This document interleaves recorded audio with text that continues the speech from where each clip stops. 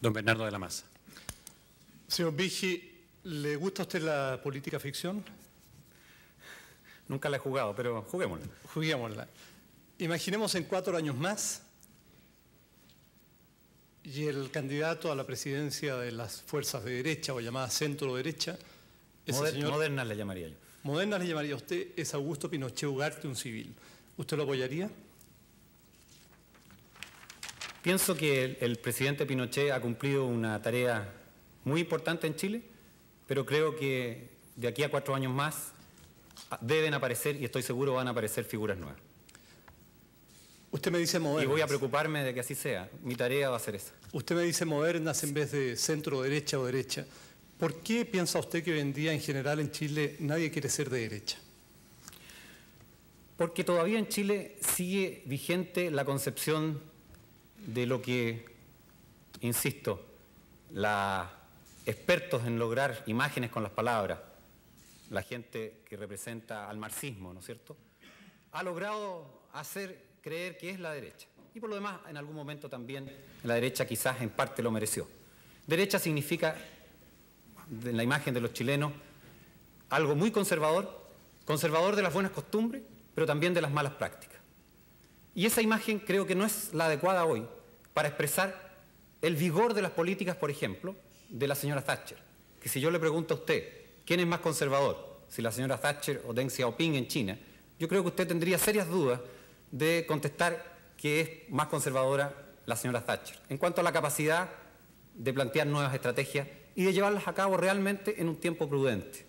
Por eso creo que lo que mejor representa mis planteamientos hoy es el concepto y la palabra de ideas modernas del futuro. Sí, usted habla de que no pensemos mejor en derecha, centro derecha, sino en, una, utilicemos mejor la palabra moderna.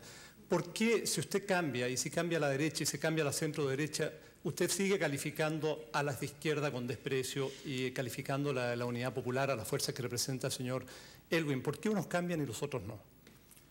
Yo creo que todos pueden cambiar, pero es que hay que verlos de acuerdo a lo que están diciendo en un momento determinado. Y a mí me parece que las palabras expresadas, por ejemplo, por el señor Almeida, no están mostrando un cambio.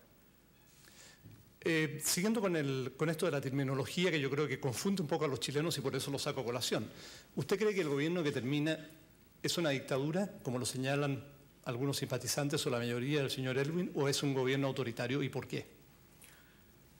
Siguiendo quizás el ejemplo o las palabras de quienes están asociados al señor Elwin, yo creo que lo más correcto es calificar al gobierno actual como un gobierno militar.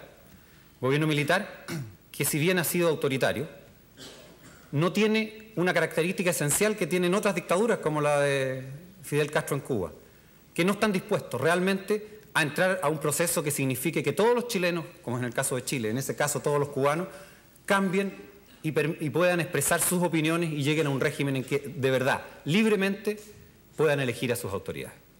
Eso es una diferencia, a mi juicio, sustancial. Este gobierno realmente, y creo que tenemos que estar orgullosos todos, de que haya sido capaz de finalmente, algunos podrán encontrar muy largo el tiempo, otros quizás corto dado la gravedad de la situación en que se vivió. Pero hoy día podemos decir, realmente Chile está, porque todos queremos, entrando en paz con nuestro acuerdo a lograr que reconstruyamos nuestra democracia y que además no perdamos y eso es muy importante, la posibilidad de seguir mejorando la situación de bienestar de cada uno de los chilenos. Una pregunta que tiene alguna relación con lo que estamos conversando. ¿Por qué cree usted que en las encuestas que se han hecho, mayoritariamente el pueblo chileno estime que la Iglesia es la institución que tiene más prestigio, cuando ha sido tan duramente atacada por, entre otras acusaciones, proteger a los eh, terroristas o inmiscuirse en política? Yo tengo un gran respeto por la autoridad moral de la Iglesia no tengo nada diferente que opinar. Realmente tengo un gran respeto. Muy bien, gracias. Señor Elwin, un minuto. Yo creo que en esto de crear imágenes, los campeones son los que utilizan los mecanismos de marketing para las campañas políticas. Y en esto creo que quienes han dado lecciones en el último tiempo son precisamente quienes apoyan al exministro señor Vigi. Pero lo cierto es que por muchas imágenes que se intenten crear, no se puede ocultar un hecho de fondo. Aquí ha habido un régimen que ha desconocido las libertades, que ha violado los derechos humanos, que ha ejercido el poder autoritariamente, que ha perseguido a los adversarios, que ha dividido al país en, enemigos, en amigos y enemigos, y hay un candidato que ha formado parte de ese régimen, que se ha identificado con ese régimen y que ahora se presenta con una cara distinta. Esa es lo que el país tiene que juzgar.